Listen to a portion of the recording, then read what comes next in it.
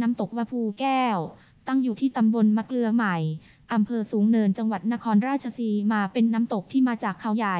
จะมีน้ำเป็นฤดูกาลซึ่งในหน้าน้ำจะมีน้ำไหลผ่านลาดผาเหมาะกับการนั่งเล่นหรือนอนเล่นให้น้ำไหลผ่าน ที่น้ำตกวะพูแก้ว หากไม่ใช่ฤดูฝนที่น้ำตกแห่งนี้น้ำจะแห้งมากไม่เหมาะแก่การไปเที่ยวชม เดินทางอย่างไร โดยรถยนต์ จากกรุงเทพมาทางถนนมิตรภาพผ่านลำตะคลองผ่านอ สีคิ้ว เลยวัดหลวงปู่โตพรมรังสี ดำเนินการสร้างโดยสรพงษ์ชาตรี มาประมาณ 3 กิโลเมตร จะเห็นโรงเรียนบ้านมะเกลือใหม่ ให้ไปอยู่เทินแล้วเลี้ยวซ้ายเพื่อเข้าทางน้ำตกวะพูแก้ว ตรงไปอีก 3.5 กิโลเมตรถึง 4 แยกถนนทางหลวงหมายเลข 24 ให้เลี้ยวซ้ายอยู่เทินเข้าถนนมะเกลือใหม่ขีดน้ำตกวะพูแก้ว ระยะทางประมาณ 10 กิโลเมตร